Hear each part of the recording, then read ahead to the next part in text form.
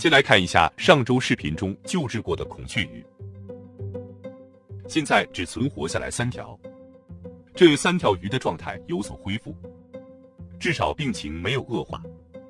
另外有两条没有抢救过来，死掉了。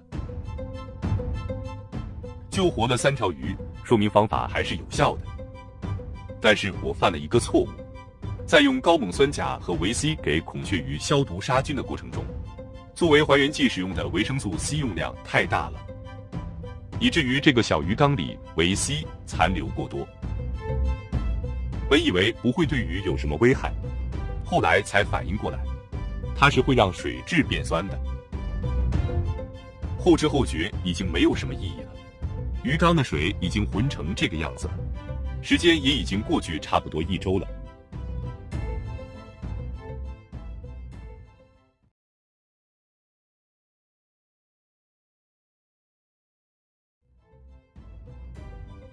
今天准备在有鱼的情况下，用高锰酸钾给鱼缸全面消毒杀菌。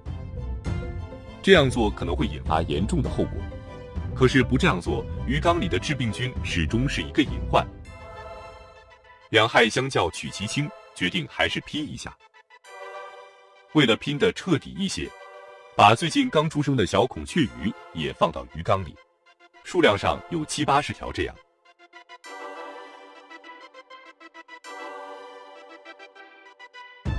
倒也不是没有目的的瞎折腾，养这些小鱼的水和大鱼缸里的水或多或少都有互通。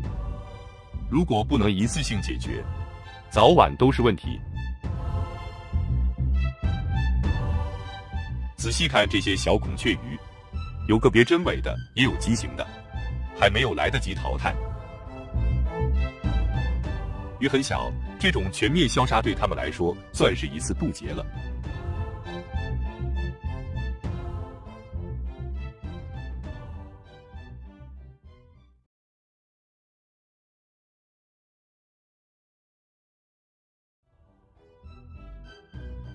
鱼缸里的鱼比较多，先把高锰酸钾和维生素 C 配成水溶液，这样相对来说能安全一些，以免到时手忙脚乱的。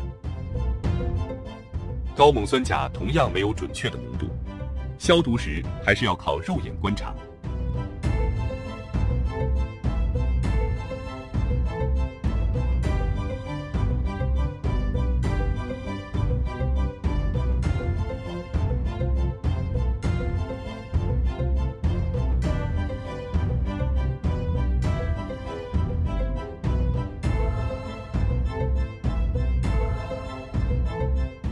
维生素 C 放了四片配置溶液，想法都是多配一些，用不了就倒掉，这样会比不够用强。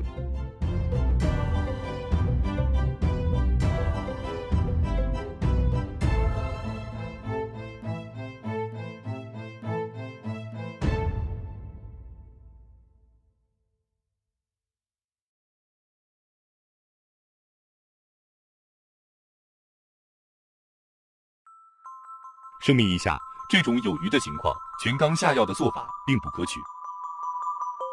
单就高锰酸钾来说，杀死鱼缸里的有害细菌的同时，也会杀死有益细菌，比如消化细菌和净水菌等等。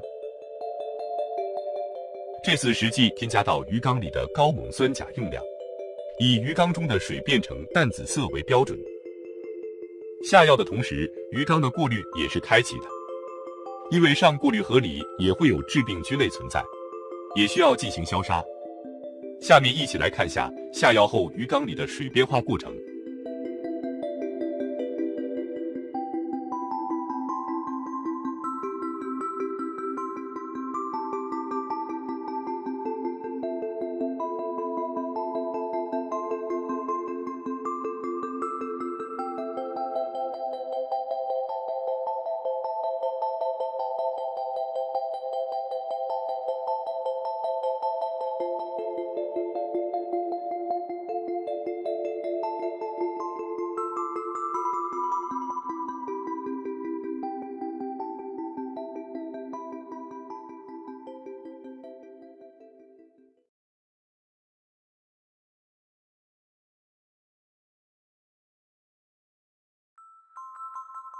用高锰酸钾水溶液浸泡孔雀鱼五分钟后，开始用维生素 C 还原高锰酸钾。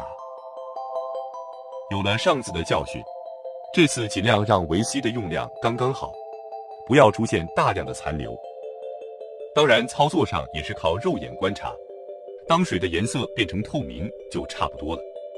中途为了加快反应速度，也可以直接扔一滴到鱼缸里。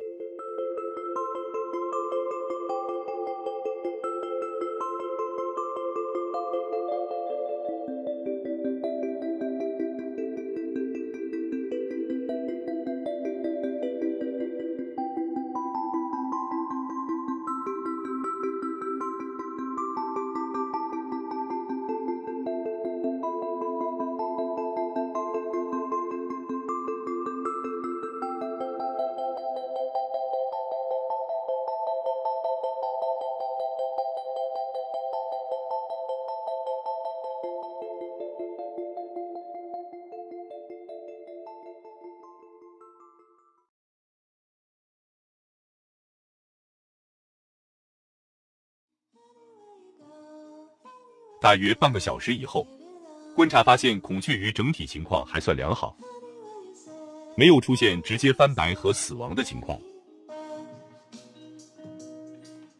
总之，这种全缸有鱼的情况下，尽量不要进行视频中的这种操作。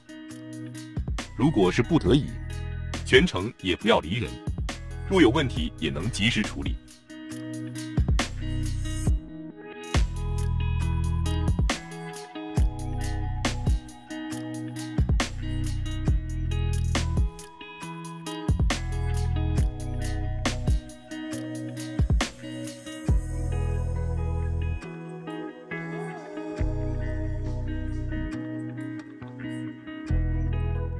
给鱼缸里的大小鱼都喂了一些鱼食，感觉不应该有什么影响。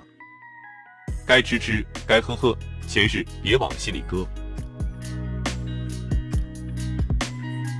最后再次提醒大家，视频中所有的操作都是建立在鱼多的前提下。说直白一些，我是玩得起的，也做好了体质差的鱼有可能因此被淘汰的心理准备。相反，如果只有几条、十几条孔雀鱼，就应该更谨慎一些了。